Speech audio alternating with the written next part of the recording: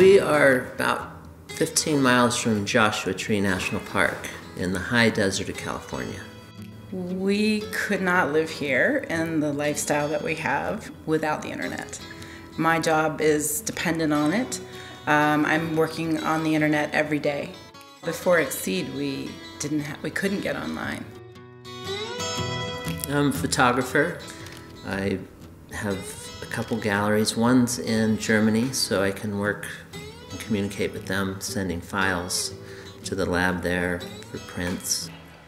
So I'm a project manager. I work for a nonprofit organization that's based out of the Washington, D.C. area. We do international development work in countries around the world. I'm talking to people in Washington and also people in our projects and all over the world, for example, Kenya, uh, Nepal, the Republic of Georgia, Jamaica, places like that. I'm able to get on my computer and um, talk to people over the internet and uh, do all of the work that I need to do from here. I send these large files to Germany to the photo lab, you know, up to like 100 megabyte files. And they do fine just going through the satellite.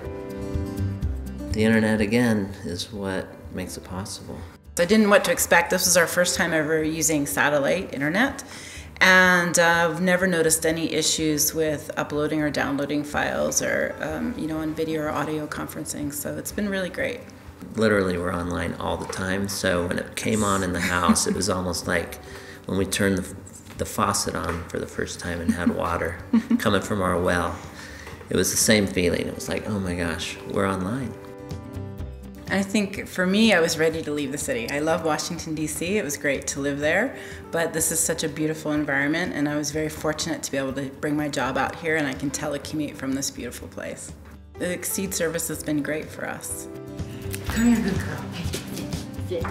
It's enabled us to live our lifestyle out here. It's given us the freedom that we need to stay connected to other people around the world and our, and our work in other places, but still be in this beautiful environment.